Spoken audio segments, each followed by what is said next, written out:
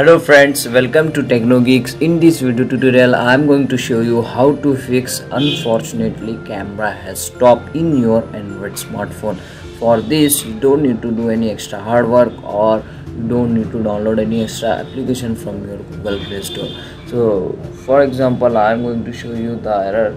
So, when I when I am going to open my camera application, this type of uh, error I am getting unfortunately camera has stopped. So how to fix this problem? Let's get started. So for this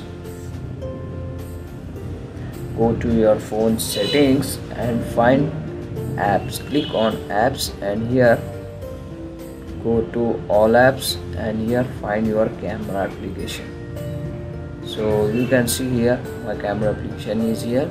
And here you want to click on clear caches and clear data. After click, clicking on clear caches and clear data so first of all restart your device once and try to browse your camera. Hope your error was fixed now.